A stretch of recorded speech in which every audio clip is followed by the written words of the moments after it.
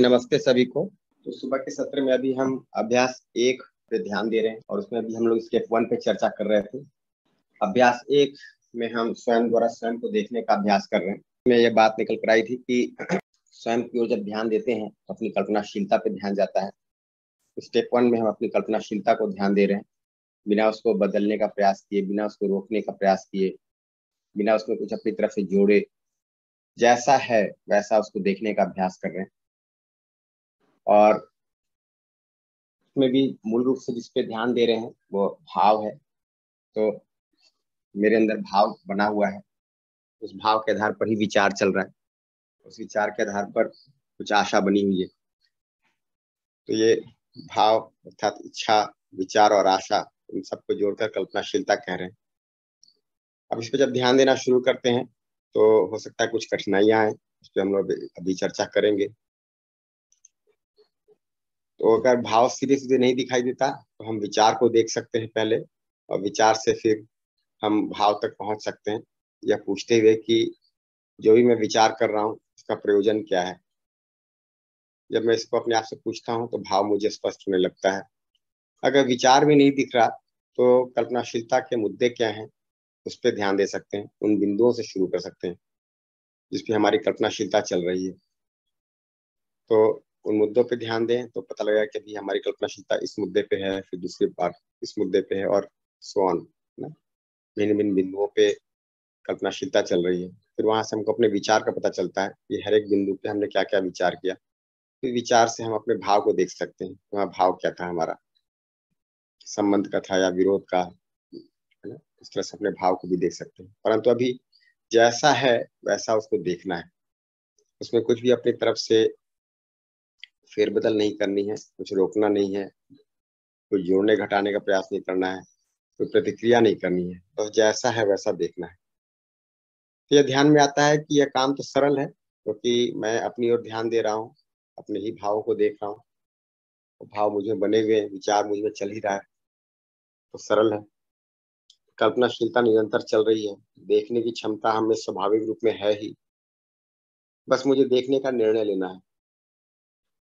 ना, और देखना है। और महत्वपूर्ण है क्योंकि इस क्षण में मेरा सुख दुख मेरे ही भाव विचार पर निर्भर करता है, मेरे ही कल्पनाशीलता पर निर्भर करता है। इसलिए महत्वपूर्ण भी है। मेरा सारा सुख दुख यही है। बाहर घटनाएँ हो रही है, मुझसे बाहर घटनाएँ हो रही है, शरीर में कोई घटना हो रही है, बाहर संबंधों में कोई घटनाएँ हो रही है, शेष प्रकृति में कुछ घटनाएँ हो रही है बट जो सुखी दुखी मेरा होना है, वो यही हो रहा है, मेरी कल्पनाशीलता में। इसलिए अत्यंत महत्वपूर्ण भी है। और हमें दिखता ही है कि हमारी मूल चाहना तो निरंतर सुख जीने की है। तो बिल्कुल उसी पे ध्यान दें जहाँ पे सुख घटित हो रहा है या दुख घटित हो रहा है। अगर उस पर हम ठीक ठीक ध्यान देते हैं तो वहाँ पे फिर हम परिमार्जन के लिए काम कर सकते हैं। तो कल हम लोगों ने इस पे अभ्यास किया था। अगर उस अभ्यास को लेकर किन्हीं का कोई प्रश्न हो, कोई नई बात ध्यान में आई हो, कोई उत्सुकता हो तो हैंड रेज कर सकते हैं, उस पर हम लोग बात कर सकते हैं। मैं अपने आँख खोल के देख पा रही हूँ। पहले तो फैमिली मैटर आ जाते हैं। फिर कॉलेज आता है। पर बीच में एक और ऑब्ज़र्व करा मैंने कि अननोन पर्सन का एक चैप्टर बड़ा खुलता वो उसके पीछे क्या भाव है? उसमें जरा मेरे को ऐसा सर में ना ऐसे लग रहा है कि वो ज़्यादा मेरे को परेशान कर है। मतलब कि मैं अननोन पर्सन के बीच में घिरी हुई हूँ। ऐसा मेरे को वो जो भाव आया ना, उसमें मेरे को टेंशन हुआ कि और तो सारी मेरे को समझ आ रही है कि हाँ फैमिली मैटर भी हो सकता है कॉलेज में भी है टीचर का भी कई बार खाप आ जाता बीच में, और पीछे का भी पास्ट भी देख रही हूँ। पर ये जो अननोन पर्सन का बीच में मैं घिरी हुई नज़र आती हूँ ना, उसमें मैं, वो चीज़ ऑब्ज़र्व करने में ना मेरे को ऐसे लग रहा है कि उससे मेरे को परेशानी होने लग गई थी अब मैं। जी तो तो आपको ही देखना होगा अननोन पर्सन के साथ क्या भाव आ रहा है आपके अंदर उसको ही तो देखना है। सर कुछ स्पोर्ट्स और ग्राउंड और ऐसा कुछ है। और बच्चे खेल रहे हैं आसपास ऐसा है। ये चीज़ें कुछ जबकि मेरा उनसे कोई रिलेशन भी नहीं है स्पोर्ट्स मेरे पास तक भी नहीं है। पर ग्राउंड में बच्चे खेलते हुए जिसमें गर्ल्स ज़्यादातर नज़र आ रही है वो और काफ़ी खुला ग्राउंड है। और हर टाइम वो चीज़ रिपीट हो रही है। भाई आँख खोल के भी देख रही हो तो वो सामने आ रही है बंद करके। और ये पहले ऐसा कभी मैंने देखा ही नहीं ना ऑब्ज़र्व करा। पर ये दो तीन दिन से ऐसा माइंड में आ रहा है कि ऐसा क्यों आ रहा है मेरे पास? ये आ, कल्पना में ऐसी चीज़ें क्यों आ रही है? इससे जरा थोड़ा सा टेंशन सा हो गया। उसको देखते जाए। अभी जो आपने बताया वो तो विचार है कि ऐसा ऐसा चल रहा है है ना? तो बच्चे खेल रहे हैं प्लेग्राउंड है खुला मैदान है बट उसके पीछे भाव क्या है? भाव सर भाव को भी ऑब्ज़र्व करना होगा मेरे को कि वो मेरे में मेरे अपने भाव उसमें कैसे आ रहे हैं। जी। ठीक है सर मैं इसमें प्रैक्टिस करके देखती हूँ कि वो, वो किस चीज़ का भाव आया वहाँ। हाँ ठीक है। और ये विचार उठा के ठीक है sir thank you sir but but अलग से इसको फोर्सफुली ना प्रयास करें इसी विचार को लाकर फिर हमको देखना है। जैसा वैसा देखिए विचार को भी देखिए विचार के पीछे भाव को भी देखिए। ये प्रैक्टिस करने से आ सकता मैम क्योंकि बिना अभ्यास के तो फिर चैप्टर बहुत सारे आगे आगे खुलने लग जाते हैं। जब मैं उस चीज़ पे प्रेशर देती हूँ ना, जैसे एक पर्टिकुलर मैं उस चीज़ के बारे में ज़्यादा डीपली देख रही हूँ, फिर मैं परेशान हो रही हूँ। वैसे तो बहुत सारी चीज़ें आ रही है। तो जो आप परेशान हो रही हैं, वहाँ भी तो कोई भाव है? परेशानी का भाव है? आपके अंदर उस समय परेशानी का भाव है, उसको भी देखिए। जो बच्चे खेल रहे हैं उनके प्रति आपके अंदर क्या भाव है? संबंध का भाव है कि नहीं है? आप उससे परेशान हो रही है कि ये चीज़ मेरे अंदर क्यों चल रही है? वो तो परेशानी भी एक भाव है। ओके बढ़िया दीदी नमस्ते भैया। कई बार मन में ये भाव आता है कि जब सब कुछ हमें अपने अंदर ही ठीक करना है तो बाहर की परिस्थितियों पर करेक्टिव मेजर्स लेने का क्या मोटिवेशन हो सकता है? आ, कि बाहर तो सब कुछ जो हो रहा है हो ही रहा है लेकिन हम सब कुछ ठीक कर सकते हैं सिर्फ़ अपने मन को ठीक करके।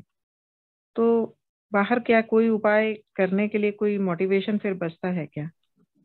इस पर थोड़ा समझते रहते हैं जी।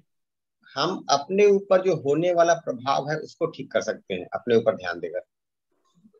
है ना? बट उससे बाहर की चीज़ें ठीक हो जाएँगे ऐसा नहीं है। तो एक बार ये जो मैं प्रभावित हो रहा हूँ उससे बाहर की घटनाओं को देखकर जिससे मैं दुखी हो रहा हूँ परेशान हो रहा हूँ व्याकुल हो रहा हूँ तो उसका एक को उपचार हो जाए। ठीक है ना? फिर जी। बाहर की चीज़ों को भी ठीक कर पाएँगे।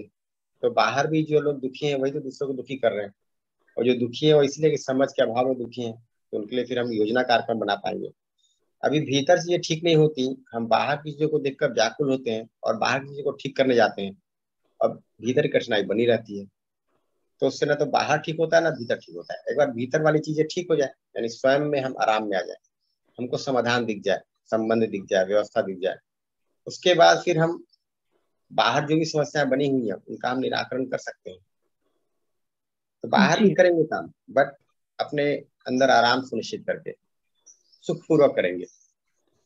जी, अभी क्या हो रहा है दुख पूर्वक हम संबंध का निर्वाह करने जाते हैं अगला भी परेशान हम भी परेशान और परेशानी को बढ़ा लेते हैं। हम एक बार हम्म। आराम में आ जाए। अगला परेशान होता भी है तो हमारे साथ बैठकर वो आराम पाता है। जी, गलत व्यवहार भी करता है हमारा व्यवहार सही रहता है। जी। तो आप पाएँगे कुछ समस्याएँ भी आती हैं स्टेप वन में। जैसे अभी जो प्रश्न भी आ रहे हैं उन समस्याओं की ओर ही इंगित करते हैं। तो एक तो यह है कि ध्यान बाहर की ओर जाता है। तो हम जिसे महत्वपूर्ण मानते हैं उस पर ही ध्यान देते हैं। तो जब तक बाहर की चीज़ें कोई सुविधा हो शरीर है संवेदना मिल रही है हमें। उसको हम ज़्यादा महत्वपूर्ण मानते हैं। इस क्षण आपका ध्यान जहाँ भी है, उसे देखते रहें। भले वह बाहर की ओर क्यों ना हो। यह निर्णय बनाए रखें कि मुझे अपनी कल्पनाशीलता को देखना है। जब भी आपका ध्यान आपकी कल्पनाशीलता की ओर लौटे, उसे देखते रहें। जब आप यह देख पाते हैं कि आप महत्वपूर्ण है, आपकी कल्पनाशीलता महत्वपूर्ण है, आपका भाव विचार महत्वपूर्ण है तो आपका ध्यान आपकी कल्पनाशीलता की ओर जाएगा, आपके भाव की ओर जाएगा। तो ध्यान बाहर क्यों जाना? ये शुरुआत में होना ही है और इसीलिए जा रहा क्योंकि हम उसे महत्वपूर्ण मानते हैं। बट यदि आप बैठे हुए हैं और आँखें बंद हैं और बाहर की ओर ध्यान जा रहा है तो अल्टीमेटली ध्यान तो स्वयं में चल रही, कल्पनाशीलता की ओर ही जा रहा है। नहीं? इतना हो सकता है कि अगर आँखें खुली हैं तो हम इस सुविधा को देख रहे हैं शरीर पे ध्यान जा रहा है, ये हो सकता है। तो अभी हम देख लें, हमारी प्रायोरिटी क्या है? जो हमारी प्रायोरिटी होती है, हम वहाँ ध्यान देते हैं। एक बार हमारी प्रायोरिटी बन जाए कि स्वयं में समझ, भाव को सुनिश्चित करना है। उस पर ध्यान देंगे। इसमें एक गलती होती है कि कई बार हम संघर्ष करने लगते हैं। हम अपने आप से ही युद्ध करने लगते हैं कि ध्यान को लौटा के ले आना है, ऐसा करना है, वैसा करना है। ऐसा नहीं सिर्फ़ अवेयर होना है। एक बार हमको पता लग जाए कि मैंने जिस चीज़ को महत्वपूर्ण माना है वहीं पे ध्यान दूँगा। तो अगर बाहर की चीज़ों को महत्वपूर्ण माना है तो बाहर ध्यान जाएगा। स्वयं में परिमार्जन को महत्वपूर्ण मानेंगे तो स्वयं परिमार्जन की ओर ध्यान जाएगा। नमस्ते सभी को। मैं जिसको महत्वपूर्ण मान रही हूँ उसके पीछे क्या है? सुख की आशा। वहाँ सुख की आशा बनी हुई हमारी। हाँ। ठीक ठीक। भैया और ये पूछना है आ, अभी भी ना संस्कार को मैं पकड़ नहीं पा रही हूँ तो क्या काम करूँ? ये अभी बता सकेंगे? इस पे तो ऐसे बात करेंगे हम लोग बट हाँ संस्कार को नहीं पकड़ पाते हैं क्योंकि अभी हम भाव को भी बारीकी से नहीं देख पाते हैं है ना? एक बार अपना भाव अपने को दिखने लगे तो हम उस भाव के साथ जो हमारा चिपकाव है उसको देख सकते हैं। जैसे दूसरों से ध्यान पाकर सम्मान पाने का भाव है। तो हमने माना हुआ है कि दूसरा जब ऐसा ऐसा आचरण करता है मेरे साथ तो सम्मान है। है ना? बाकी सबको यो ध्यान न देकर मेरी ओर ध्यान देता है, ऐसे सर हिलाता है, ये करता है, ये सब सम्मान है। हमने सम्मान को कोई अर्थ दिया हुआ है। ये हमारा अपना गहरा संस्कार है, मान्यता है। सम्मान का अर्थ कुछ और भी हो सकता है। तो वहाँ पे हमको दिखाई दिया कि हमने सम्मान के बारे में कुछ माना हुआ है। वो हमारा गहरा संस्कार बना हुआ है। इसीलिए दूसरों से भाव पाकर सुखी होने का हमारे अंदर भाव बन रहा है। दूसरों का ध्यान खींचकर, दूसरों के द्वारा कुछ मिलकर हमारे अंदर सुख पाने का भाव बन रहा है।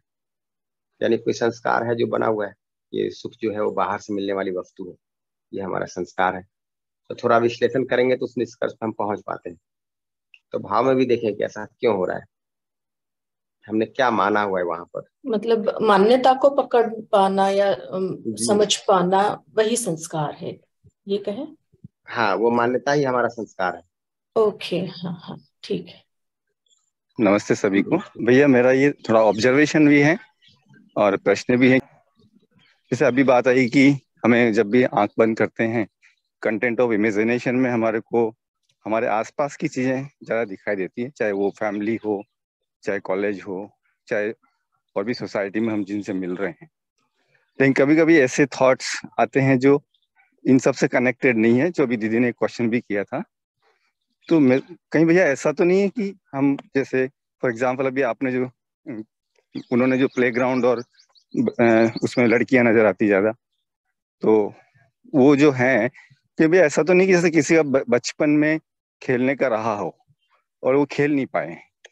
बचपन में या थोड़ा बड़े होके भी। तो उस तरह की जो चीज़ें हैं कहीं कहीं वो अंदर चली जाती हैं।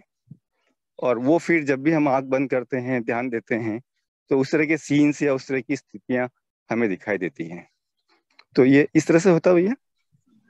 ये भी हो सकता है। ये जिनको जिनके साथ हो रहा है वो उसको देख पाएँगे।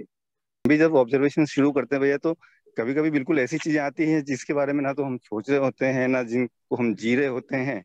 लेकिन कहीं कनेक्शन नज़र नहीं आता लेकिन हो सकता है कि उसको हम भूल चुके हो और हमारे अंदर वो कहीं बैठा हुआ हो।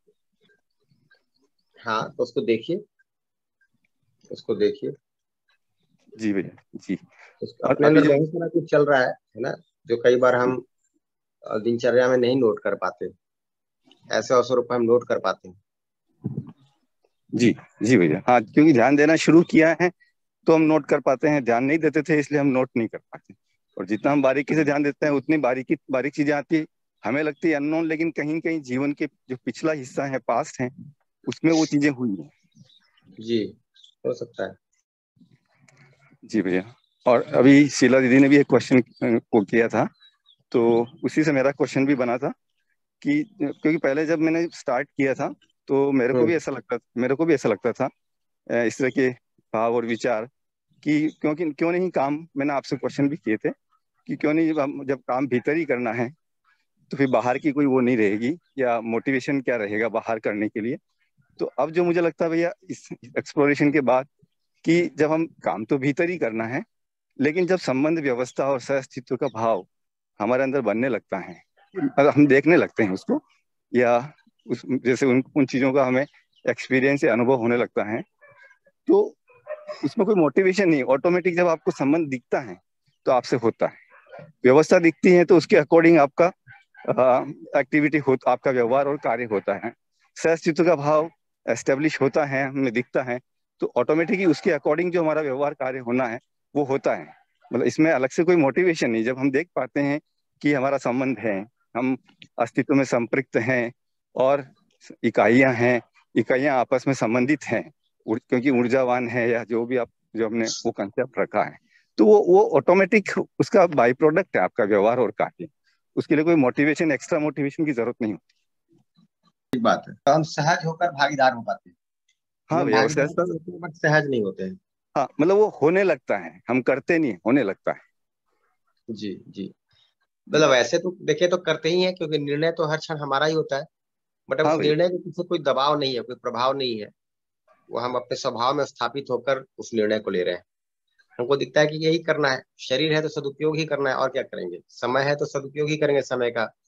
दुरुपयोग क्यों करेंगे? संबंध है तो उसमें पूरक ही होंगे है ना? क्यों किसी के शोषण करेंगे शासन करेंगे? पूरक होंगे। हाँ भैया उसमें दृष्टि भी बदलती है न्याय धर्म सत्य की दृष्टि आती है या करुणा और इस तरह की आपको क्वालिटीज आती हैं तो उसकी वजह से आपके अंदर होने लगता है ये सारी चीज़ें। हाँ। जी भैया। जी बस ये दोनों ही ऑब्जर्वेशन थे भैया। केवल आपसे और थोड़ा सा स्पष्टता के लिए मैंने रख दिया था इसको। हाँ हाँ बढ़िया भैया बहुत अच्छा। आपका ऑब्जर्वेशन अच्छा चल रहा है। जी। जी जी थैंक यू भैया। नमस्ते। नमस्ते। हाँ भैया जी मुझे ये पूछना है ना जैसे मुझे संस्कार तो समझ में आ रहा है कि जो मेरे अंदर इच्छा विचार ऐसा चल रही है तो अच्छा उसमें काम भी करते हैं कि जैसा ऐसा होना चाहिए तो वैसे ही करें। तो इसमें इसमें क्या होता है कि जैसे अब पता ही मैं मोटा हूँ तो जैसे दस दिन से तो लगे पड़े कि क्या खाना चाहिए क्या पीना चाहिए कैसे व्यवहार करना चाहिए सुबह की टहलना चाहिए सब कुछ मतलब जैसा होना चाहिए वैसा करने की कोशिश कर रहे हैं। अच्छा ये थोड़ा सहज रूप में हो भी रहा है। कल क्या वो मैं दही लेने गया मार्केट में और सामने जलेबी तल ले तल, तला जा रहा था। और मैंने फिर बिना सोचे समझे मेरे अंदर कोई भी मतलब बिना विचार किए पता नहीं संस्कारों में है क्या है सुबह सुबह मैंने कह दिया एक और जलेबी दे दो। तो उसे खाया अच्छा भी नहीं लगा बाद में कि फीलिंग अच्छी नहीं आई। तो यहाँ पे यहाँ पे मैं ये जानना चाहता हूँ कि जब दस दिन से मैं लगा हुआ हूँ, अपने आप को अच्छा फील कर रहा हूँ तो जब मैं वो जलेबी सुबह सुबह खरीदने गया दही के साथ, दही तो चलो सही था तो वो मेरा इच्छा, विचार, आशा कहाँ चला गया? मतलब मैं सहज रूप से क्यों नहीं सोच पाया कि ये मेरी सेहत के लिए ठीक नहीं है? दस दिन जो आप प्रयास कर रहे हैं, उसमें भी आपके अंदर ये आशा तो बनी हुई थी कि जलेबी खाया जाए या पकौड़े खाए जाए। बट आपने उसको रोका हुआ था। हाँ। आपने उसको हर तरह से रोका हुआ था। तो समझ कर ऐसा कर रहे थे हो सकता है ऐसा नहीं है। कुछ मान कर कुछ दबाव बनाकर अपने ऊपर कर रहे थे। तो जैसे ही अवसर मिला तो दबाव हट गया। तो अगर जलेबी नहीं खानी है तो क्यों नहीं खानी है? और जलेबी नहीं खानी है तो क्या खानी है?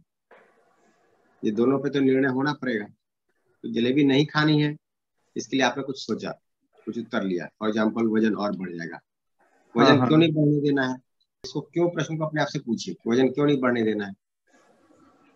हाँ हाँ। तो इससे शरीर और अस्वस्थ हो जाएगा भारी हो जाएगा है ना? हाँ हाँ जी हाँ जी। बट ऐसा भी क्यों करना है? वज़न क्यों नहीं बढ़ने देना है? भारी क्यों नहीं होने देना है?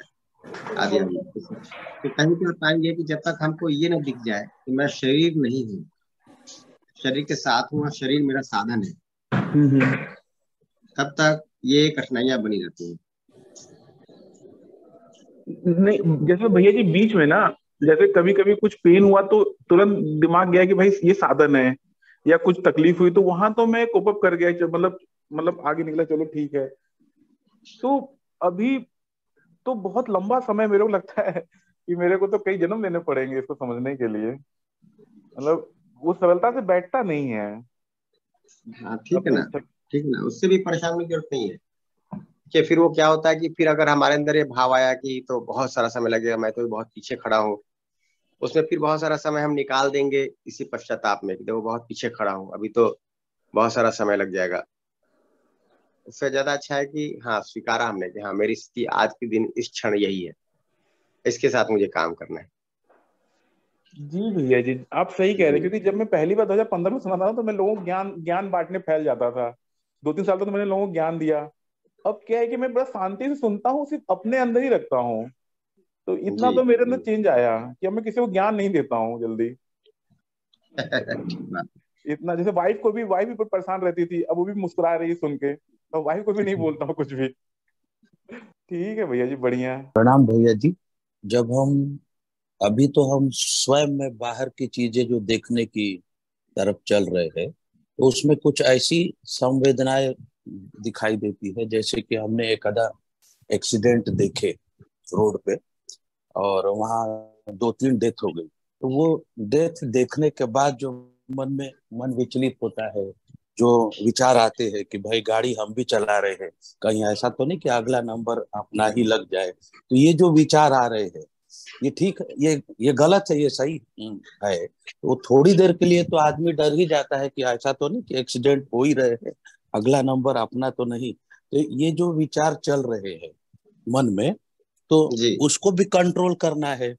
और दूसरा जो हेल्थ को लेके बात चल रही है कि आ, मुझे शुगर है बीपी है तो उसके लिए जो हमको खाना खाना है क्या खाना है क्या नहीं खाना है दवाइयाँ टाइम पे लेना है नहीं लेना है उसके साथ जो डॉक्टर्स बताते हैं तो वो तो खैर एक नियम की बात हो गई। तो ये जो दिमाग में चल रहे हैं आउटसाइड की चीज़ें तो ये अगर कंट्रोल कर पाते हैं तो हम ऐसा महसूस करते हैं कि हम स्वयं को देख पा रहे हैं। ऐसा फ़िलहाल अभी लग रहा है मुझे। जी तो हाँ, एक तो आपके अंदर जो चल रहा है उस पर ध्यान गया है। जी। और ये जो बाहरी घटना हम देखते हैं तो उनका ठीक से विश्लेषण होना तो ठीक ही है ज़रूरी है। ज़रूरी। तो इस तरह से अगर एक्सीडेंट हो रहा है हम्म। तो अगर हमने ध्यान नहीं दिया तो हमारा भी हो सकता है। जी। बट उससे यदि हम भयभीत हो रहे हैं तो ये ठीक नहीं है। हाँ ये तो, ठीक नहीं जी। हाँ उसमें फिर हमको देखना हो कि हमारे अंदर क्या मान्यता बनी हुई है जिससे ये भय उत्पन्न हो रहा है क्योंकि भय हमको सहज रूप से स्वीकार नहीं है। उसके लिए ये भी तो देखना पड़ेगा कि जो स्पीड में हम पहले चल रहे थे अस्सी हाँ। नब्बे की स्पीड से चल रहे थे वो हमने एक एक्सीडेंट देखा तो हमारी स्पीड ऐसे ही कम हो जाती है थोड़ी सी तो वो कम होना तो एक अच्छी बात है लेकिन मन में डर की वजह से नहीं सावधानी की वजह से होना चाहिए। ऐसा भी लग रहा है। जी बिल्कुल। लखनऊ कानपुर हाईवे पे लिखा हुआ है जिनको हाँ। जल्दी थी वो चले गए। जी जी जी। लिखा है ऐसे ऐसा। है जी। जी। तो हाँ। ठीक बात है तो ऐसी घटनाओं को देखते हैं हम तो हमारा ध्यान तो जाता है। फिर हम अपना मूल्यांकन भी करेंगे कि हाँ भाई हम सहज भाव से गाड़ी चला रहे हैं या आवेश में गाड़ी चला रहे हैं। ठीक है ना? हम ध्यान देते हुए चला रहे हैं या हमारा ध्यान कहीं और है? तो इससे हम अपना मूल्यांकन करेंगे। तो सारे अवसर होते हैं जहाँ पे हमको अपना मूल्यांकन करने का अवसर मिलता है कि हम सही चल रहे हैं कि नहीं। तो उसको हम ध्यान देंगे बट भयभीत नहीं होंगे। हमको दिखता है कि हाँ ये संभावना है। ना? तो हमको गाड़ी ठीक नहीं और सिर्फ़ हमारे लिए नहीं दूसरे के लिए भी। क्योंकि हमारी गाड़ी से कोई दूसरा ही तो टकराएगा। हमें चोट लगेगी दूसरे को भी चोट लगेगी। जी तो संबंध का भाव भी दिखता है अपने को। जी गाड़ी चलाने में हमारी गाड़ी का मुद्दा नहीं है। अभी गाड़ी चलाने में लोग जो झगड़ा करते हैं सिर्फ़ अपनी गाड़ी को चोट लगने से करते हैं है ना? बट जी जी। दूसरे व्यक्ति को भी चोट लग सकती है। दूसरी गाड़ी हाँ, को भी चोट लग सकती है। वहाँ संबंध भाव है। हाँ तो संबंध का भाव भी ज़रूरी है। जी। जी थैंक यू जी भैया, नमस्ते सभी को। आज का जो टॉपिक है, वो बहुत ही बढ़िया है। वैसे तो अपना हर दिन ही बढ़िया रहता है, लेकिन कुछ कुछ बातें जो शुरू से आज चल रही है, वो एकदम ही मस्त है। और इसमें ये जो हम जान गए अभी ये यूएचयू में आके वन टू थ्री तक, कि जो संबंध का भाव हम देख रहे हैं, जैसे अभी आपने गाड़ी की भाव मतलब गाड़ी की भावना है सभी तो ये तो बात जायज़ है भैया, कि अगर हम ऐसा सोचेंगे तो कोई कुछ भी नहीं करेगा। सभी भूमि भूमि गोपाल की और ऐसा बोल के सब अपने दरवाजे खुले रखेंगे सब अपनी भावना को उसने भी ले लिया। यानी समझो उसको कुछ मिल गया तो वो भी मेरा ही है और मुझे मिला वो भी मेरा ही है। तो इस तरह से चलेगा तो फिर ये पृथ्वी पे काम कैसे चलेगा? जी भैया प्लीज़ इस पे थोड़ा प्रकाश डालिए आज। नहीं तो अगर ऐसा हो जाए है ना कि लोगों को एक दूसरे के साथ कोई भय ना हो तो अच्छी बात है कि नहीं है? बहुत बहुत अच्छी बात है ना भैया वो ही तो चाहिए अपने को। कि जैसा मुझे लगता है कि यानी जो भी मैं कर रहा हूँ ये दूसरे के भले के लिए कर रहा हूँ। वो भले ही अपने शरीर के लिए अपने सेल्फ के लिए सब कर रहा हूँ लेकिन इसके साथ मेरी दूसरे के भी भलाई है। जी। तो तो बहुत तो, अच्छी बात हो जाएगी हाँ। हाँ तो फिर ये यूएचवी की ज़रूरत क्यों पड़ रही है? अभी जो हम देख रहे हैं ना कॉन्ट्राडिक्टरी भी देख रहे हैं। जैसे पहले वो दीदी ने रजपाल दीदी ने हाँ। बताया कि मुझे भय लग रहा है मुझे ऐसा लग रहा है कि वो कुछ मुझे ऐसा करेंगे ऐसा। तो ये ऐसा क्यों होता है? मतलब ये सेल्फ के साथ जैसा हमने दस मिनट कल आग बंद करके भी देखा लेकिन हमने ये पाया कि जब हमने आग बंद किए और नहीं बंद किए दोनों में कुछ अंतर नहीं है। कभी कभी हम आँखें खुली होती है और हमारा ध्यान कहीं और होता है। तब हमको कोई दूसरा बोलता है अरे भाई क्या सोच रहा है तू? तो ये तो निरंतर अपने आप में चलते रहेगा ना भैया जी? जी जी।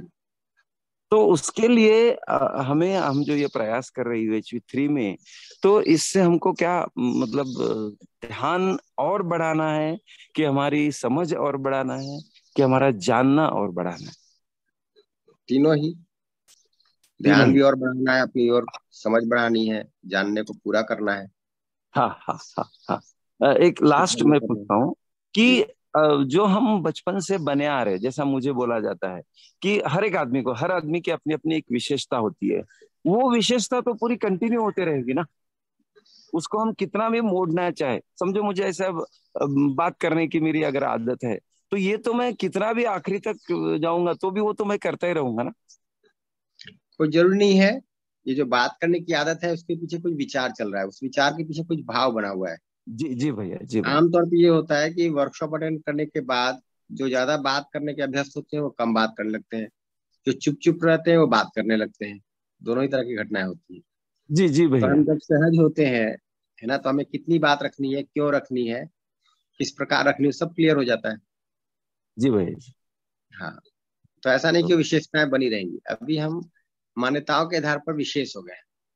समझ के आधार पर हम श्रेष्ठ हो पाते हैं। फिर हमारे जीने का आचरण हमारे जीने का स्वरूप निश्चित होता है हमारा आचरण निश्चित होता है और उस आचरण की एक रूपता दिखाई देती है। समाज में परिवार में हर व्यक्ति समझ कर बोल रहा है। हर व्यक्ति उतना ही बोल रहा है जितना बोलने की आवश्यकता है। जी भैया। तो लेकिन ऐसा सभी सोचते नहीं ना मेरा ये कहना है। जी? ऐसा सभी ने अगर सोचा यूनिवर्स में जी। तो तो फिर ये सब जो हम कर रहे हैं जो इतना प्रयास अभी लग रहा है ये करने की आवश्यकता नहीं पड़ेगी। अगर सभी ने ये सोचना चालू कर दिया उसकी हाँ, जो विशेषता है। कैसे पहुँचेंगे? हाँ, सभी हाँ, वहाँ कैसे पहुँचेंगे? तो उसके लिए कुछ ना। कुछ तो शिक्षा विधि होगी जो काम। करती रहेगी। और अपने को दिखी रहा कि ऐसा नहीं कि एक बार सुन लेने से ध्यान चला गया। उसको तो बार बार ध्यान दे रहे हैं तब ध्यान जा रहा है कि नहीं? जी जी भैया जी। भैया सबको नमस्ते। मैं तीन बातों को देख पा रहा था जब अभी चर्चा हो रही थी किसी चीज़ को छोड़ने की। मैं देख पा रहा था जब मैं किसी को छोड़ देता हूँ किसी को रोक देता हूँ किसी के बीच में छोड़ने और रोक पाने के बीच में संतुलन पैदा कर लेता हूँ तो पुनर्प्राप्ति की जो फोर्स होता है मेरा वो अलग अलग होता है। जैसे शुगर पेशेंट को जब कोई चीज़ रोक दी जाती है कि उसको नहीं खाना है तो वो ज़रूर खाएगा। जैसे आपने अभी जब जलेबी की बात हुई तब मैं सोच पा रहा था कि वो ज़रूर दौड़ेगा।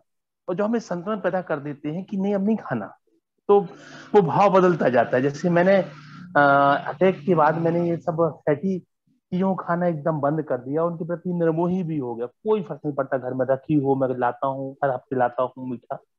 परंतु मैं बिल्कुल खाने की इच्छा नहीं रख पाता हूँ। तो ये जो जो आंतरिक बल कार्य कर रहा है, ये तीनों में अलग अलग कैसे क्रिएट हो पाया है या हो पाता है, इसको मैं जानना चाह रहा हूँ तीनों मतलब फिर से बताइए, क्या तीनों कह रहे हैं? एक चीज़ एक चीज़ मैं रोक रख रहा हूँ कहीं खाना नहीं है। मैं बहुत मोटा हो जाऊँगा। दूसरी चीज़ ये कि आ, मैंने उसको छोड़ रखा। अब नहीं खाना हो गया बहुत हो गया। वो ठीक नहीं है वो आराम वो फ़ायदा नहीं करती है। और तीसरी संतुलन पैदा कर देता हूँ कि नहीं थोड़ा थोड़ा खाते रहेंगे थोड़ा थोड़ा लेते रहेंगे तो कोई दिक्कत नहीं है। तो तीनों में जो आंतरिक बल कार्य करता है हमारी इच्छा शक्ति के साथ वो कैसे क्रिएट होता है? थोड़ा क्लियर करें। तो आपके मानने के आधार पर ऐसा हो रहा है? जिस क्षण जैसा मानते हैं वैसा करते हैं? तो कुछ चीज़ों को हम कह देते हैं कि भाई इसको नहीं लेना है। कुछ चीज़ों को लेते हैं कि भाई जितना ले लिया उतना पर्याप्त है। और कुछ चीज़ों लगता है कि ठीक है है ना? कोई इतना मेजर नुकसान भी नहीं है थोड़ा थोड़ा लेते रहिए। तो हम वहाँ पे एक आकलन करते हैं, हम वहाँ पर विश्लेषण करते हैं कि अगर मैं इसको लूँगा तो क्या स्थिति बनेगी, नहीं लूँगा तो क्या स्थिति बनेगी। तो इसमें एक जो मेजर फसावट है वो ये होती है कि हम स्वाद से सुखी होने जाते हैं। तो जब तक हम स्वाद से सुखी होने जाते हैं, तब तक इतनी सुविधा की आवश्यकता उस स्वाद को पैदा करने के लिए। वो निश्चित नहीं हो पाती, क्योंकि स्वाद से सुखी होने जाएँगे और सुख तो निरंतर चाहिए। तो स्वाद को बेहतर से बेहतर बनाने के लिए, अधिक से अधिक समय तक कंटिन्यू करने के लिए हम सुविधा में परिवर्तन करते रहते हैं। फिर किसी पॉइंट पर स्वाद से सुखी होने तो गए बट शरीर में रोग होने लगा। तो हमको लगता है कि ये जो रोग है, ये हमको दुख देगा। तो स्वाद हमको सुख तो दे रहा था बट ये रोग दुख दे रहा है। तो फिर हम दोनों बीच में आकलन करते हैं कि ठीक है भाई, इसका आपस में इसको, है ना, इस तरह से बैठा हो ताकि स्वाद भी मिलता रहे और रोग भी ना पैदा हो। ये सब हम गणित लगाते रहते हैं। लगाते इसलिए क्योंकि अल्टीमेटली हमको अगर देखें तो हमको सुख स्वभाव के रूप में नहीं दिखाई देता। सुख बाहर से मिलने वाले कोई प्रभाव के रूप में लगता है। गणित बैठाकर अपने आप में आराम पाने का प्रयास करते हैं। यानी भैया मोर कैलकुलेटिव हो जाते हैं। गड़ा भाग करते रहते हैं कि क्या करना चाहिए और वो हमारे फोर्स है, मान्यताओं को मान्यता मानने की में वृद्धि करता रहता है कि नहीं नहीं, अब ऐसा नहीं होना चाहिए। तो शायद हमारा जो एक दृढ़ इच्छा शक्ति है वो प्रबल होती जाती है। दृढ़ता ओर बढ़ते जाते हैं, ऐसा कुछ है? प्रबल होती जाती है या छीन होती जाती है, क्या कह रहे हैं? हाँ ये तो हम्म, नया कॉन्सेप्ट है कि क्षीण होती है। नहीं इच्छा शक्ति ये कि नहीं नहीं अपन को ये खाना नहीं चाहिए क्योंकि हम अब संतुलन की ओर बढ़ रहे हैं या ये चीज़ डॉक्टर ने रोक रखी है और ऐसा हो जाएगा नुकसान। और दूसरी रोकना रोकना और छोड़ त्यागना और संतुलन पैदा करना तीन स्थितियाँ हैं। तीनों में आपने एक बहुत अच्छी बात कही कि हमारी मान्यताओं का जो फोर्स है वो हमारे लिए ज़्यादा क्रिएटिव हो जाता है अपने के लिए। हाँ, तो ये सब इसलिए करना पड़ता है कि कौन कहीं हम उसको स्वाद से सुखी होने की आशा बनाए हुए हैं। हमको दिखाई देने लगे कि स्वाद से सुखी नहीं होना है। स्वाद तो एक संकेत है कि कौन सी चीज़ हमारे शरीर के लिए कितनी मात्रा में उपयोगी है। वो स्वाद हमको बताता है। बस उतना ही उसका रोल है। उससे सुखी होना है ऐसा नहीं। सुखी तो समझ और भाव से होना है। तो सुख का जो निश्चित स्रोत है, जब तक नहीं दिखाई देता, तब तो तक हम बाहर से कुछ पाकर सुखी होने का इस तरह का प्रयास करते रहते हैं। चलता रहता है हमारे अंदर। हम स्वाद पे नियंत्रण पाने की की ओर बढ़ जाते हैं इसका तात्पर्य हुआ। स्वाद पे नियंत्रण नहीं पाना है। बेसिकली हमको समझना है कि स्वाद से मिलने वाला सुख निरंतर नहीं हो सकता। जी जी बिल्कुल बिल्कुल। तो एक समस्या थी कि ध्यान बाहर क्यों जा रहा था दूसरी कठिनाई आती है जो सभी के शेयरिंग से निकल कर आता है कि शरीर के माध्यम से देखने का प्रयास करते हैं। तो मैं सीधे सीधे मैं को देख रहा हूँ मैं की कल्पनाशीलता को देख रहा हूँ संवेदना के माध्यम से नहीं। तो हम बाहर की चीज़ों को पाँच संवेदना, शब्द, स्पर्श, रूप, रस, गंध के माध्यम से देखने के अभ्यस्त हैं। इसलिए इन, इसलिए हम मैं को भी इन संवेदनाओं के माध्यम से ही देखने का प्रयास करते हैं। हम मैं के आकार, रूप, रंग आदि को देखने की कोशिश करते हैं और हम जिसे महत्वपूर्ण मानते हैं उस पर ही ध्यान देते हैं। इसे भी देखते रहें कि आप यानी मैं, है ना, के आकार, रूप, रंग आदि को देखने का प्रयास कर रहे हैं। हमें सीधे सीधे अपनी कल्पनाशीलता को देखना है, इसका निर्णय बनाए रखें। जब भी आपका ध्यान आपकी कल्पनाशीलता को लौटे, उसे देखते रहें। तो मैं कोई जड़ वस्तु तो हूँ नहीं। अब हमारा जो अभ्यास है पहले से, वो जड़ वस्तुओं के रूप के आस्वादन करने का अभ्यास है। तो हमारे पास जो भी ज्ञान इंद्रिया है, शब्द, स्पर्श, रूप, रस, गंध इन सब के माध्यम से हम बाहर की चीज़ों का अभी तक आस्वादन करते रहे। तो हमको लगता है कि मैं का भी कुछ ऐसा ही आस्वादन होगा। तो जब मैं की कल्पना करने जाते हैं तो मैं के बारे में भी कुछ ऐसे ही एक रूप बनाते हैं ऐसा कोई रूप होगा, है ना? और हो सकता है हमने कुछ पढ़ा हो, कुछ सुना हो, कुछ पहले से हमारी स्मृति में हो तो उसी आधार पर हम मैं के बारे में पूरी कल्पना बनाने लगते हैं। अभी देखना नहीं है, ये मैं की कल्पना करना है तो मैं ऐसा होता है, मैं वैसा होता है है ना? मैं के बारे में हमने ये सुन रखा है तो कुछ ऐसा होता होगा। तो हम जब अपने को देखने जा रहे हैं, कल्पनाशीलता को देखने जा रहे हैं तो कई बार हम इस रूप में अपने जो पूर्व संचित कुछ संस्कार हैं, उसके आधार पर ऐसी कल्पनाशीलता में चले जाते हैं। तो उसकी आवश्यकता नहीं है है ना? हाँ इतना ज़रूर अपने आप में नोट कर लें कि देखो, वो फिर से हो रहा है कि मैं अपने को एक जड़ वस्तु के रूप में देखने का प्रयास कर रहा हूँ, उसके रूप, रंग आदि को देखने का प्रयास कर रहा हूँ। तो अभी हमारा प्रयास किस बात के लिए अगर स्टेप वन में देखें तो कल्पनाशीलता को देखना है। तो बस इसको ध्यान दे लें कि मुझे अपनी कल्पनाशीलता की ओर ध्यान देना है। ध्यान अपने आप लौट आएगा, है ना?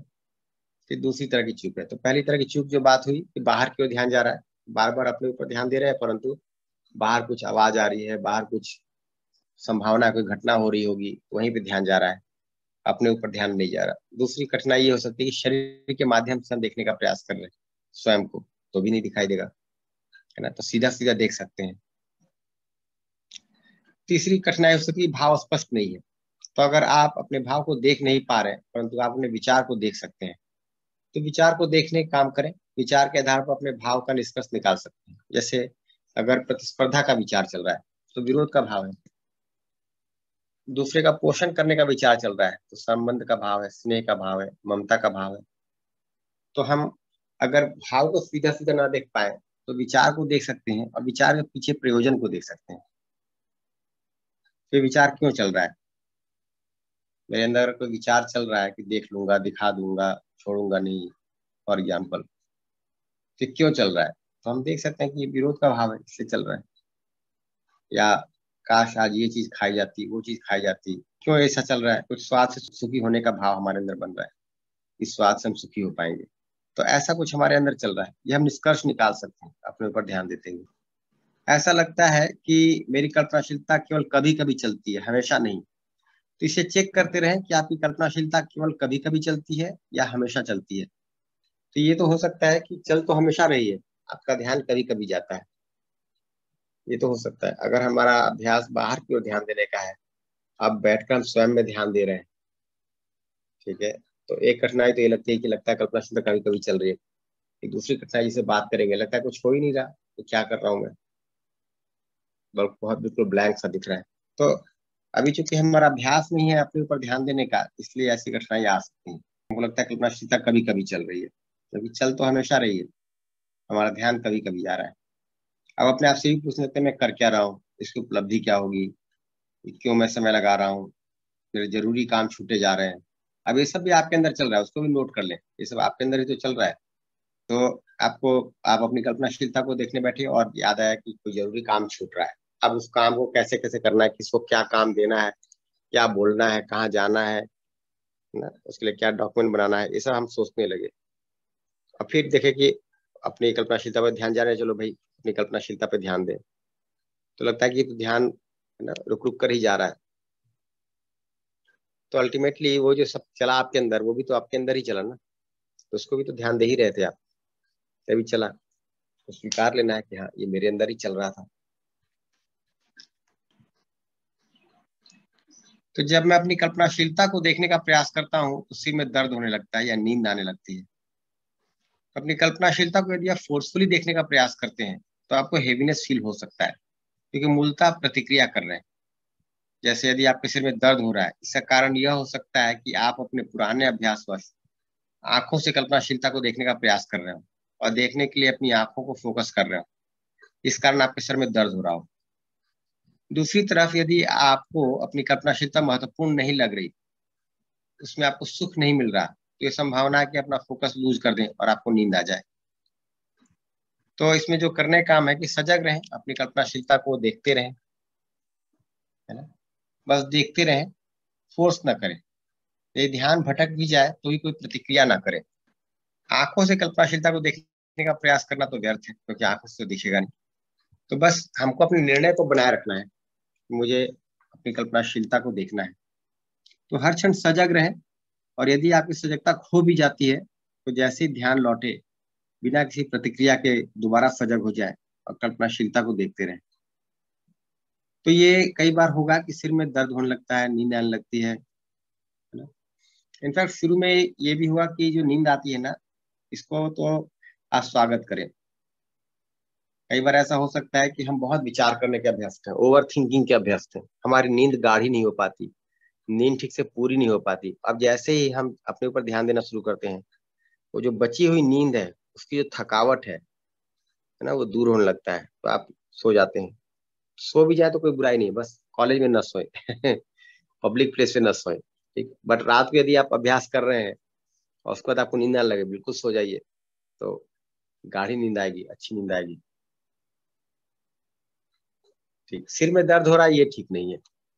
तो सिर में अगर दर्द हो रहा है तो फिर यानी आप ज़ोर ज़बरदस्ती कर रहे हैं, अपने ऊपर ध्यान देने के लिए दबाव बना रहे हैं। तो ऐसा नहीं, हमको जो प्रायोरिटी लगती है, उस पर हम ध्यान देते हैं। तो अगर ध्यान बाहर की ओर जा रहा है और हम उससे ज़बरदस्ती खींच के लाने का प्रयास करेंगे तो ऐसी स्थिति बनेगी। हम बस देख लें कि हाँ ध्यान अभी बाहर जा रहा है।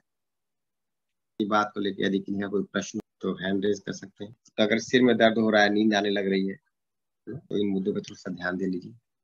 नमस्कार। जी नमस्कार ये जो ऑब्जर्वेशन की क्रिया आप कह रहे हैं तो क्या हम ऑब्जर्वेशन जैसे आपने कहा शब्द रूप स्पर्श गंध इसके माध्यम से अभी तक कर रहे थे।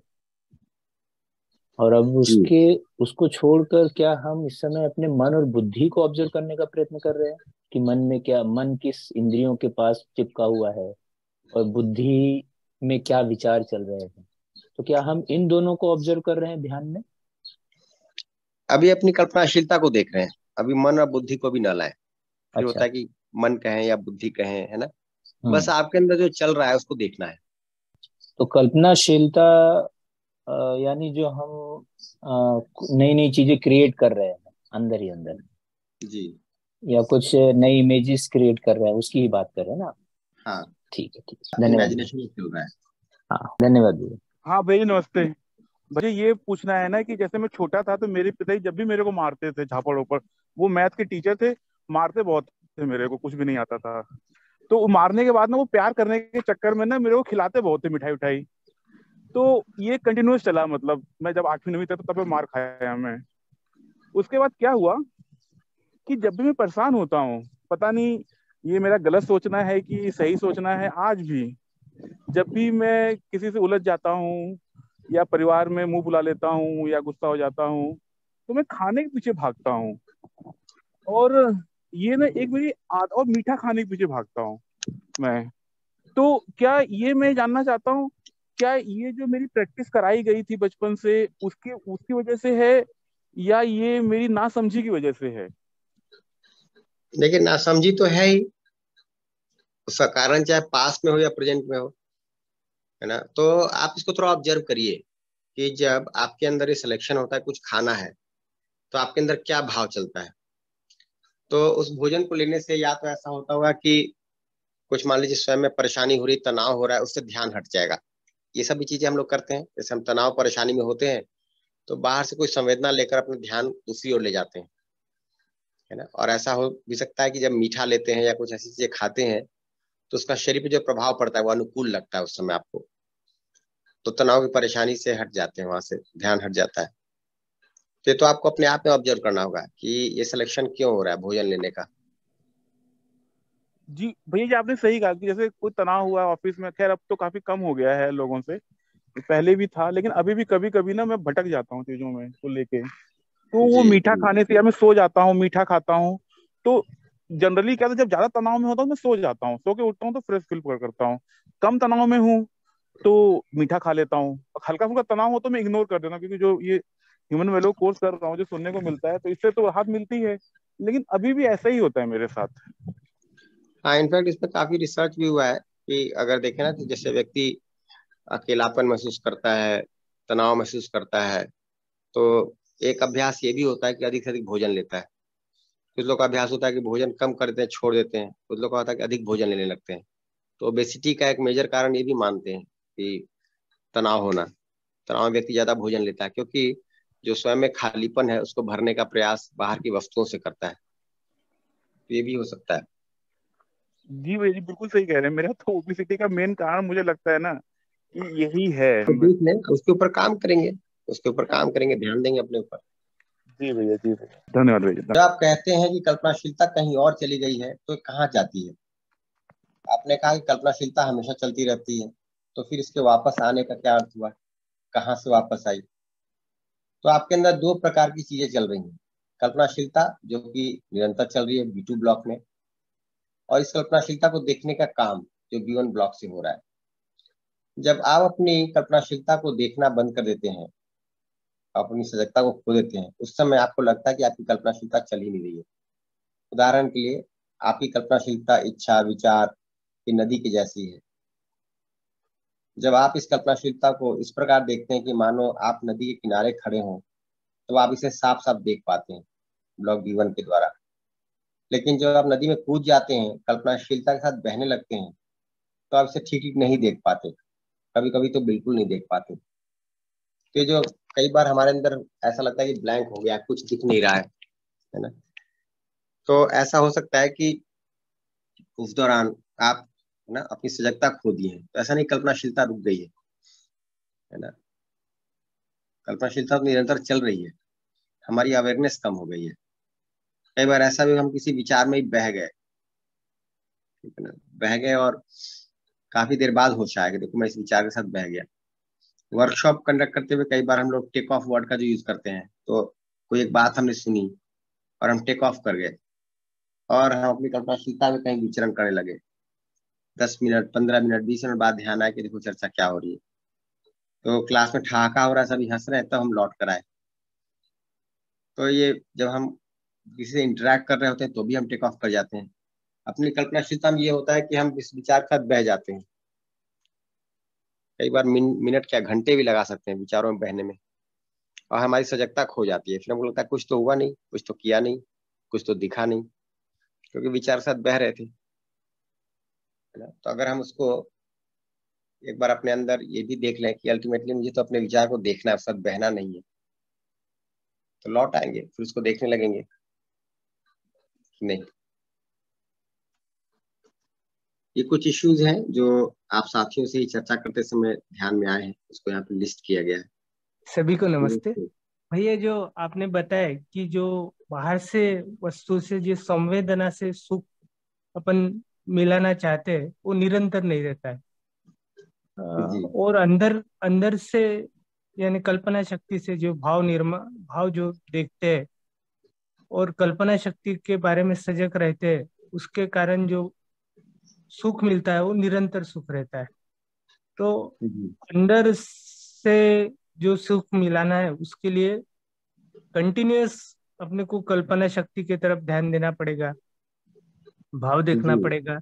और ये it's a very difficult task ऐसा क्योंकि अपने को उतना साधना रहती है। एक ऑर्डिनरी मैन जो सर्वसाधारण आदमी है उसको उतनी साधना नहीं रहती है।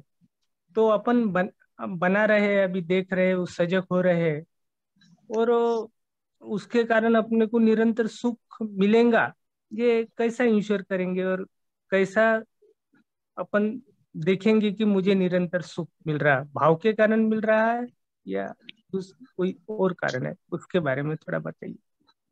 जी अभी तो निरंतर सुख नहीं मिल रहा तभी तो हम बाहर की ओर भाग रहे हैं। हाँ हाँ हाँ। एक बात दूसरी बात एक तरफ़ से देखें तो लगता है बहुत डिफ़िकल्ट काम है। हाँ हाँ हाँ। दूसरी तरफ़ से देखिए तो सबसे सिंपल काम है। हाँ हाँ क्योंकि हाँ, आपको कुछ करना ही नहीं है बाहर किसी को ध्यान नहीं देना है बस अपने ऊपर ध्यान देना है। बराबर है। तो मैं अपने ऊपर ही ध्यान दे रहा हूँ है ना? तो ये तो बहुत सिंपल काम है। बराबर। तो वो तो क्या है हमारी कुछ मान्यता ऐसी बन गई हैं है ना? कि ये जो बाहर से कुछ प्राप्त करके सुखी होने का भाव जो हमारे अंदर बना था उसकी एक आशा बनी रहती है कि बाहर से कुछ प्राप्त करके सुखी होंगे। हाँ हाँ। है ना? इस कारण से अपने ऊपर काम करना मुश्किल लगता है। लगता है क्या कर रहा हूँ मैं? कुछ कर नहीं रहा हूँ। ऐसा नहीं कुछ नहीं कर रहा बहुत महत्वपूर्ण काम कर रहे हैं। अच्छा अच्छा अच्छा। है ना? एक बार अपने ऊपर ध्यान जाने लगे अपने अंदर ध्यान देकर हम चीज़ों को देख पाए। ठीक? हाँ। तो लगता हाँ, दिखता है कि बहुत महत्वपूर्ण काम कर रहे हैं। दूसरे को लग सकता है कि क्या कर रहे हैं ये है ना? इससे अच्छा कुछ उत्पादन करते कुछ ऐसा करते कुछ वैसा करते तो वो भी कर लेंगे आवश्यकता अनुसार बट इसको तो पूरा करना ज़रूरी है। तो अभी तो निरंतर सुख नहीं दिखाई देगा स्वयं में क्योंकि समझ पूरा नहीं हुआ है भाव निश्चित नहीं हुआ है तो अभी नहीं दिखाई देगा। ठीक? बट कम से कम जो दुख है वो तो समझ में आने लगे। अच्छा। कोई पीड़ा है दुख है व्याकुलता है स्वयं में उसके साथ हम बाहर भाग रहे हैं। मेरा इस बात आकलन करिए कि उपलब्धि क्या हो रही है। जी। बाहर से जो सुख मिल रहा हो वो सुविधा जो मिल रही है उससे जो सुख मिलता है वो निरंतर नहीं मिलता है और क्षणिक रहता है थोड़ी देर तक रहता है ऐसा ही अपन सोचते हैं। और अंदर से जो भाव के कारण जो सुख मिल रहा है वो निरंतर यानी अगर अपन निरंतर देखते रहे निरंतर ध्यान रहा अपना तो निरंतर सुख मिलेगा। ऐसा ही नहीं भैया? सिर्फ़ ध्यान जाने से निरंतर सुख नहीं मिलेगा। जब चीज़ें स्पष्ट होंगी जब ऊपर की क्रिया जागृत होगी तो मिलेगा। तो ऐसा हो सकता है शुरू में तो आपकी परेशानी बढ़ जाए अच्छा, दुख बढ़ जाए। कुछ घटनाओं को जिनको आप भूल चुके हैं वापस लौट लौट के आने लगे। वो तो घटनाएँ अच्छा। जितनी विकराल थी उससे ज़्यादा विकराल लगने लगे। अच्छा। भी बढ़ सकता है शुरू में। जी। थैंक यू थैंक यू भैया। बढ़िया भैया। कुछ और हैंड्स रेज्ड है बट समय हो चला है। बनिशा जी हैं अर्चना जी हैं और प्रभात जी भी हैं। तो मुझे लगता है आपके प्रश्नों कल ले सात तीस का समय हो गया है। ठीक रहेगा? जी कल आपके प्रश्नों से बात शुरू करते हैं। बनिशा जी का हैंड कुछ देर से रेज दी है। कल आपके प्रश्न ले लेते हैं पहले। जी तो दीदी आज सत्र रोक लेते हैं समय हो चला है। बहुत बहुत धन्यवाद। सभी को धन्यवाद सभी को नमस्ते।